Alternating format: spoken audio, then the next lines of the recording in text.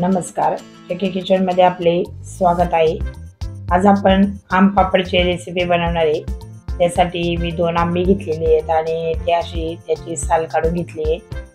दोन्ही आंब्यांची आपण अशी साल काढून घ्यायची आहेत आणि आपण हे आम पापड जो आहे तो खूपच छान अशी रेसिपी आज आपण याची बनवणार आहे. अशा प्रकारे मी दोन्ही आंब्यांची आंब्याची जी साल आहे ती अशी काढून घेतली आहे. तुम्ही जास्त सुद्धा प्रमाण आंब्यांचं करू शकता. मी दोनच आंब्यांचं एकच पापड हा बनवणार. आहे आणि आता हा आंबा आपला पूर्ण साळून झालेला आहे साल काढून झालेले आहेत आणि आता असा कापून हा मी मिक्सरच्या भांड्यामध्ये टाकून घेणार आहे. आणि हा आपण छान असं दळून घ्यायचं आहे.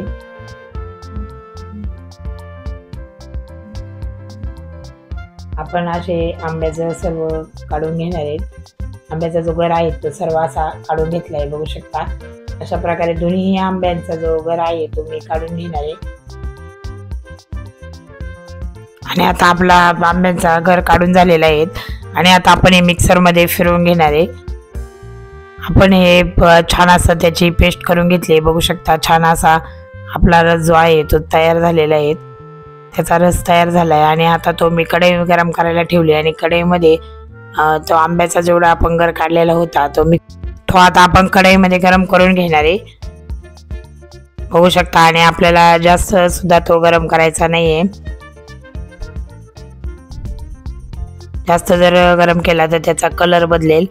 म्हणून आपण थोडंसंच तो असा बुडबुडे येईपर्यंतच गरम करून घेणार आहेत बघू शकता अशा प्रकारे आपण हा फिरून घ्यायचा आहे चांगल्या प्रकारे हलवून घ्यायचा आहे. आणि आता लगेचच मी त्यामध्ये साखर घातली आहे. साखरेचं प्रमाण तुम्ही कमी जास्त करू शकता. आणि यामध्ये आपण लिंबूसुद्धा टाकून घेतले. लिंबाने याची चव छान येते.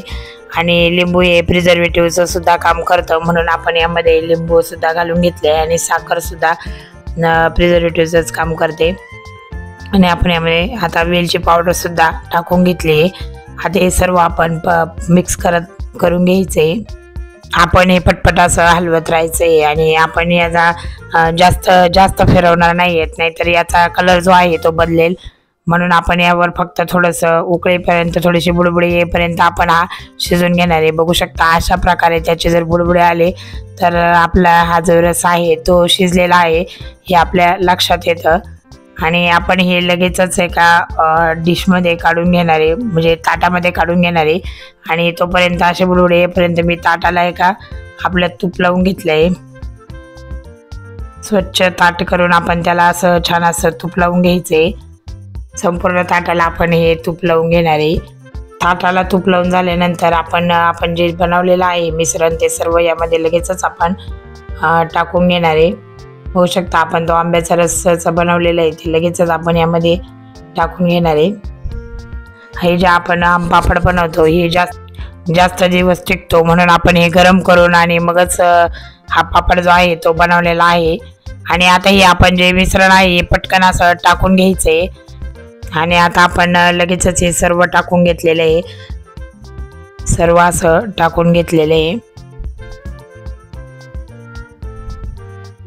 आणि आपण आता हे ताट जे आहे ते हातात धरून असं संपूर्ण बाजूने आपण हे पसरून घेणार आहेत. बघू शकता कशा प्रकारे हे सर्व असं पांगत आहे आणि झटपट करायचं आहे आपल्याला. ते लवकरच असं घट्ट होतं.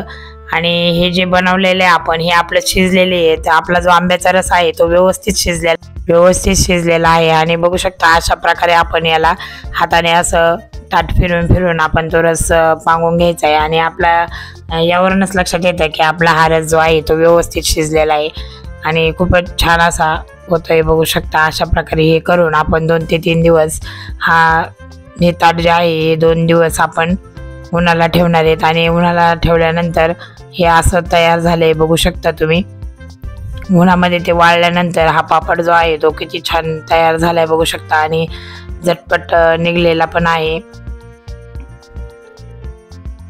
बघू शकता किती छान असा आपला हा पापड तयार झालाय. आणि आता आपण याला कापून त्या कापून त्याच्या वड्या बनवणार आहे. आपण बाहेरगावी जरी गेलो तरी त्या वड्या ज्या आहेत त्या आपण घेऊन जाऊ शकतो. आणि खाण्यासाठी सुद्धा अशा खूपच छान लागतात आणि फार काळ टिकतात. म्हणून आपण अशा प्रकारे बनवायच्या अशा प्रकारे कापून आपण त्या साईडला काढणार आहेत. आणि काहींचे रोल सुद्धा मी यामध्ये बनवणार आहे. आणि आपण हे सोपे होतात की आपण कुठे जायला जायचं असले तर आपल्याला खाण्यासाठी खूपच छान लागतात. म्हणून आपण या अशा बनवून घ्यायच्या. आपल्याला जायचं असलं कुठे तर आपण बनवून ठेवायच्या आहेत. आणि या पंधरा दिवसाच्या वर सुद्धा टिकतात. खूपच छान अशा या आपल्या पापड्या तयार झाल्या आहे बघू शकता तुम्ही.